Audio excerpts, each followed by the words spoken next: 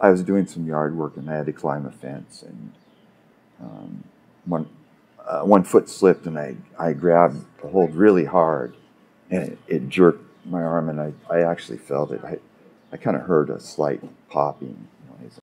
Douglas came to CDI in Kirkland for a look at the torn tendon of his right biceps. T- today was to get the MRI because before the surgeon can set up the surgery, he's he's got to have the pictures from the MRI. Your doctor's actually getting more than pictures.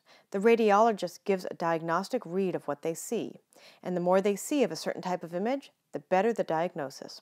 It's like having more practice, and it's called subspecialized. Uh, I'm a neuroradiologist. When you s- choose one area to specialize in, then that's all you do. So I look at brains and spines and head and neck pictures. So instead of looking today at breasts and tomorrow at bones and the next day at heads, I look at heads.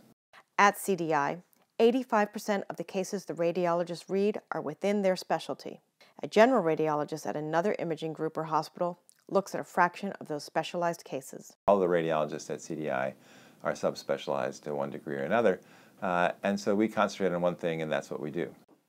For patients, that means there's a lot of skill and expertise behind every diagnostic read. It would be like if you had a some sort of blood disorder, you had the option to go to a an internist or a hematologist. I mean, who would you go to?